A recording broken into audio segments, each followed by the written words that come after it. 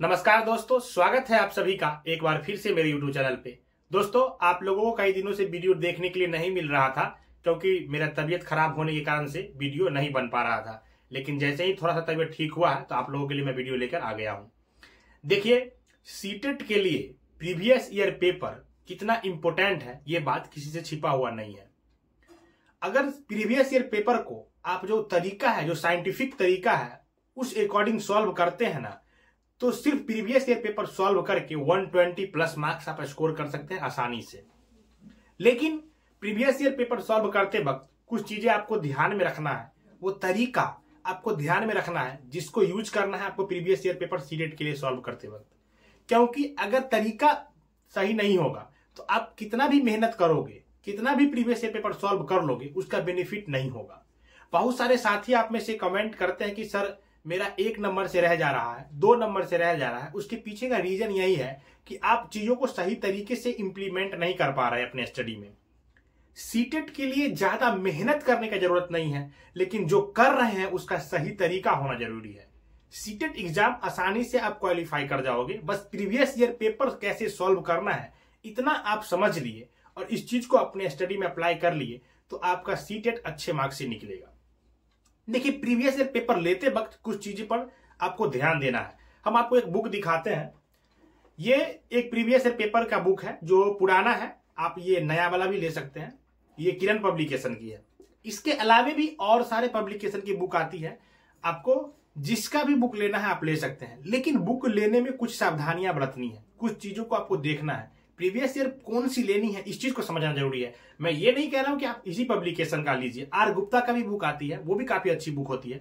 इसके अलावा भी बहुत सारी पब्लिकेशन की बुक आती है। आप किसी भी पब्लिकेशन की बुक लें, लेकिन बुक लेते वक्त ध्यान क्या रखना है? क्योंकि ये प्रीवियस ईयर पेपर है तो किसी भी पब्लिकेशन का बुक आप लेंगे तो उसमें प्रीवियस ईयर पेपर ही होगा। लेकिन प्रीवियस ईयर पेपर होना कैसा चाहिए, इस चीज़ को देखिए। जैसे इसका हम एक पेपर आपको दिखाते हैं, फिर आपको समझ में आएगा। जैसे देखिए ये। ये पेपर है प्रीवियस ईयर का। अब यहाँ पे आप देखिए, ये सारे प्रश्न लिखे हुए हैं। सेक्शन बाय सेक्शन जैसे सीडेट में आते हैं। ठीक है तो ये प्रश्न अभी सारे लिखे हुए हैं और प्रश्न खत्म होने के बाद आप यहाँ देखेंगे, जैसे प्रश्न खत्म होगा, एक मिनट, इसके बाद आंसर दिया हुआ इधर। प्रश्न खत्म होने के बाद ये सेक्शन बाय आंसर दिया हुआ है टोटल और इसके बाद इसके बाद यहाँ पे व्याख्या दिया हुआ है। तो आप जो भी प्रीवियस ईयर पेपर लेना आप देखिए व्याख्या है। तो अगर जिस प्रश्न में दिक्कत होगा, यहाँ व्याख्या आप चेक कर सकते हैं। और जब आप प्रीवियस ईयर पेपर सॉल्व करोगे तो आंसर यहाँ से मैच कर सकते हैं कि आपका कितना स्कोर हुआ। ये किसका कौन सा आंसर है, वो यहाँ पे लिखा हुआ है। तो आप जो भी प्रीवियस ईयर पेपर ले तो सबसे पहले ये ध्यान में रखें कि इसी प्रकार का प्रीवियस पेपर पेपर होना चाहिए। इसमें क्या ध्यान रखना जैसे कि सारे प्रश्न एक साथ होना चाहिए। कुछ प्रीवियस ईयर पेपर की बुक आती है ना, उसमें फ़र्स्ट क्वेश्चन है, फिर उसका आंसर वहीं पे लिखा हुआ होता है, फिर उसका डिस्क्रिप्शन भी वहीं पे लिखा हुआ होता है। ये जो बुक होती है, घटना चक्र टाइप की बुक होती है तो उसमें घटना चक्र की जैसे बुक होती है ना, उसमें देखते हैं आप क्वेश्चन है, उसका ऑप्शन फिर वहीं पे आंसर वहीं पे उसका डिस्क्रिप डिस्क्रिप्शन होता है, यानी व्याख्या होता है। तो दिक्कत क्या होती है ना, वैसे बुक पढ़ने के लिए है सॉल्व करने के लिए नहीं पेपर सॉल्व करने के लिए नहीं सीटेट के लिए आपको व्याख्या वाली बुक पढ़ना नहीं है। इससे बेनिफिट नहीं होगा। आपको कोशिश करना है कि जितना हो सके पेपर सॉल्व कीजिए। पेपर सॉल्व देख रहे ना, ये सारे वैसे ही प्रश्न दिए हुए हैं। टोटल प्रश्न है, फिर इसके बाद इसका आंसर होगा। तो सीटेट के लिए जो प्रीवियस ईयर पेपर सॉल्व करें ना, उसमें सबसे बड़ी चीज़ है कि आपको P Y Q as a exam solve करना है डेली अगर डिस्क्रिप्शन वाली बुक लेंगे तो आप पढ़ सकते हैं, सीख सकते हैं। नॉलेज के लिए ठीक है, लेकिन आपका एग्ज़ाम में वो उतना बेनिफिट नहीं करेगा जितना कि ये ऐसी बुक करेगी जो प्रीवियस पेपर दिया हुआ है सॉल्व करने के लिए। अब इसको सॉल्व कैसे करना है? अगर आप बुक ले लिए। अच्छा बुक लेते वक्त एक चीज़ और आप ध्यान में रखना कि आपका लैंग्वेज वन और लैंग्वेज टू में जो लैंग्वेज है, उसी अकॉर्डिंग से बुक लीजिएगा। ये नहीं कि आप लैंग्वेज टू में इंग्लिश रखे हुए हैं और आपके बुक में लैंग्वेज वन में इंग्लिश है तो फिर बेनिफिट नहीं होगा। यहाँ पे आपको डिफरेंस हो जाता है। तो आप ऐसा करें कि अगर लैंग्वेज वन हिंदी है तो आप देख ले कि आप जो पीवाईक्यू की बुक ले रहे हैं, उसमें लैंग्वेज वन हिंदी है ना, उसको देख के कंफर्म कर ले, तभी वो बुक ले। अब बात करते हैं कि पीवाईक्यू को सॉल्व कैसे करना है। साइंटिफिक तरीका है जिसको अप्लाई कीजिएगा तो काफ़ी बेनिफिट मिलेगा। देखिए, सबसे पहले आपका जो एग्ज़ाम टाइम होने वाला है ना, सीटेट का, साढ़े नौ बजे से, आप उसी टाइम पीवाईक्यू सॉल्व कीजिए। इससे फ़ायदा क्या होगा? इससे फ़ायदा ये होता है कि हमारे ब्रेन जो है, उसको एक सिग्नल जाता है कि इस टाइम पे ये प्रॉपर वर्क हमको करना है। तो ये लगातार अगर आप उसी समय पे पेपर सॉल्व करोगे ना डेली तो जिस दिन आप एग्ज़ाम हॉल में होगे तो आपका ब्रेन उस टाइम पे प्रिपेयर होगा क्वेश्चन सॉल्व करने के लिए। ये एक आदत सी होती है। इस चीज़ को समझिए, अगर कोई व्यक्ति डेली दोपहर में सोता है तो उसको किसी दिन आप नहीं सोने के लिए बोलोगे, तब भी उसको उस दिन लगेगा कि हमको सोना चाहिए, आलस फील होगा। हमारे शरीर का ऐसा आदत हो जाता है कि उस समय पे सोना जैसा फील होता है, थोड़ा आप सुस्त महसूस करोगे नहीं सोने के बाद भी। तो अगर आप उसी टाइम पे प्रश्न सॉल्व करोगे, जिस टाइम पे आपका एग्ज़ाम होना है तो आप यकीन मानो इसका बेनिफिट उठाओगे, क्योंकि आपका ब्रेन उस टाइम प्रश्न सॉल्व करने के लिए प्रिपेयर रहता है। पहली चीज़ ये ध्यान रखनी है। दूसरी, आपको ओ सीट प्रिंट करवा लेनी है। इसका पेपर जितना घंटा एग्ज़ाम में मिलेगा, कोशिश कीजिए, उससे जैसे ढाई घंटे की एग्ज़ाम होगी तो आपको कोशिश करना है कि 10 से 15 मिनट पहले पेपर हर हाल में सॉल्व हो जाना चाहिए, ढाई घंटे से। क्योंकि एग्ज़ाम हॉल में प्रेशर ज़्यादा होगा, वहाँ पे कुछ फॉर्मेलिटी भी करनी होती है, अटेंडेंस वगैरह तो टाइम उसमें भी लगेगा। तो आपको हमेशा 10 से 15 मिनट पहले प्रीवियस ईयर पेपर सॉल्व करने की आदत डेवलप करनी चाहिए। पीवाईक्यू सॉल्व करने के बाद आपको आंसर मैच करने के बाद उसको एनालाइज करना चाहिए कि कहाँ पे प्रश्न गलत हुआ है, जो गलत हुआ है, उसको सुधारने की ज़रूरत है। उसको पढ़ने की ज़रूरत है, वो कंसेप्ट समझने की ज़रूरत है, और इस बुक में व्याख्या भी दिया हुआ है, वहाँ से आप क्लियर कर सकते हैं। इसके अलावे, अगर व्याख्या से आपको क्लियर नहीं हो रहा है उसका कंसेप्ट तो आप यूट्यूब पे सर्च मारिएगा प्रॉपर उस टॉपिक पे तो आपको मिल जाएगा वीडियो फिर वहाँ से उसको क्लियर करना है। तो हर हार में ये चीज़ कोशिश करना है।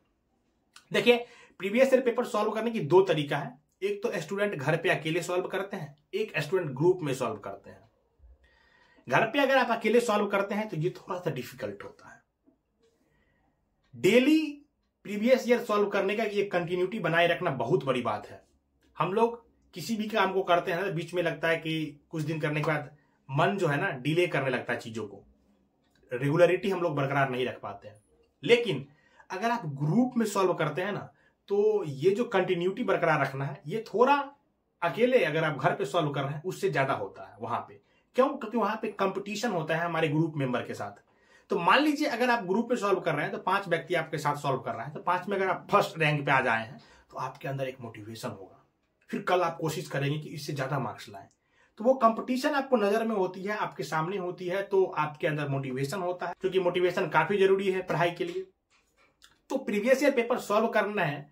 अगर आपके पास ऑप्शन है कि आप ग्रुप में सॉल्व कर सकते हैं, चार पाँच स्टूडेंट बैठ के तो आप इसको क्या कर सकते हैं? इस बुक का जो पहला पे, पेज है। जैसे ये फ़र्स्ट सेट हुआ उस सेट को लीजिए और उसका प्रिंट आउट ले लीजिए। पाँच प्रिंट आउट ले लीजिए और सभी स्टूडेंट आपस में डिस्ट्रीब्यूट कर लीजिए क्वेश्चन को। तो लगेगा कि जैसे एग्ज़ाम में क्वेश्चन मिलेगा वैसे आपको क्वेश्चन मिल गया। और बुक को साइड करिए फिर ओ एम सीट ले लीजिए सभी स्टूडेंट और ग्रुप में सॉल्व कीजिए इसको। तो आप देखेंगे कि आपको पूरा पूरा एग्ज़ाम का फील आएगा। क्या करना है? बुक का जो क्वेश्चन है उसको प्रिंट आउट कर लेना है। फिर आप सभी स्टूडेंट में डिस्ट्रीब्यूट कर लीजिए और ओ एम सीट रख लीजिए। फिर टाइम स्टार्ट हो गया, उस टाइम के अकॉर्डिंग दीजिए और जितना टाइम पे बंद करना है, उस टाइम पे बंद कर लीजिए। ये नहीं कि ज़्यादा टाइम लगाना है। और फिर आप जब सभी स्टूडेंट अपना आंसर सीट मैच करोगे तो कुछ रिज़ल्ट आएगी, जिस रिज़ल्ट में देखोगे कोई एक रैंक पे है, कोई दो रैंक पे है, कोई तीन रैंक पे है, कोई इसके नीचे है। तो अब जो नीचे है, उसको लगेगा कि हमको इन सभी स्टूडेंट में एक रैंक पे जाना है तो वो उसके लिए मेहनत करेंगे। जो एक पे है, वो खुद को एक पे बनाए रखने के लिए मेहनत करेंगे। तो ऐसे में क्या होगा ना कि कंपटीशन की भावना होती है तो हमारा मोटिवेशन बना रहता है। लय बना रहता है पढ़ाई करने का। लेकिन अगर आपके पास ये सुविधा नहीं है कि आप पाँच छह स्टूडेंट ग्रुप में सॉल्व कर सकते हैं पीवाईक्यू तो आप घर पे कीजिए। आप घर पे कीजिएगा तो थोड़ा सा आपको खुद से मोटिवेट रहना पड़ेगा। आप अपना पिछले दिन का मार्क्स देख करके आज के मार्क्स को देखिए। अगर आप इंप्रूव कर रहे हैं तो आप अपने अंदर मोटिवेशन लाइए और और अच्छा और अच्छा करने की कोशिश कीजिए। क्योंकि अकेले में पढ़ना थोड़ा सा मोटिवेशन इंटरनली होना चाहिए। तब ज़्यादा अच्छा से आप पढ़ सकते हैं। नहीं तो फिर आप वही होता है कि पाँच छह सेट लगा के आप प्रीवियस ईयर करना छोड़ देते हैं। लेकिन दोस्तों, अगर सीटेट पास करना है तो प्रीवियस ईयर पेपर पूरा का पूरा सॉल्व करना होगा। हम अपने समय पे ये बुक पूरा सॉल्व किए थे, इसके अलावे भी एक दो और बुक हम पूरा का पूरा सॉल्व किए थे। तो आप ये कोशिश कीजिए, अभी तक जितना सीटेट का पेपर हो चुका है, क्योंकि ऑनलाइन में मल्टीपल सेट हुए थे तो काफ़ी सेट आपको मिल जाएँगे। सारे के सारे सेट को सॉल्व कर जाइए। आपका सीटेट होगा। अच्छे मार्क्स से होगा। दोस्तों, आपके मन में कोई भी डाउट है किसी टॉपिक पे आप वीडियो चाहते हैं तो कमेंट में लिखिए, हम उस पर वीडियो बना देंगे। आपके मन में कोई डाउट है तो कमेंट में लिखिए, हम वहाँ पे आपका जवाब भी देंगे। मिलते हैं नेक्स्ट वीडियो में। Till then keep learning keep smiling bye